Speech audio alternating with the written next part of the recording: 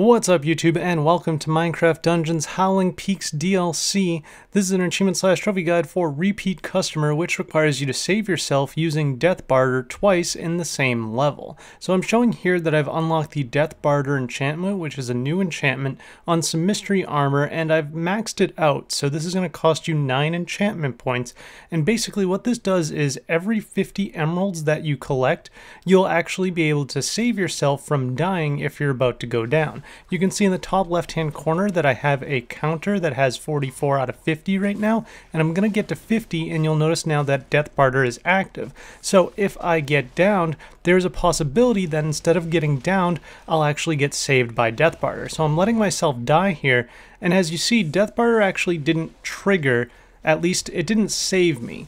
It did still trigger though, and it does count towards the achievement or trophy if Death Barter doesn't save you. Right here, this is my second time, and as you could see, Death Barter actually saved me this time, so I didn't go down, and my achievement or trophy still unlocked.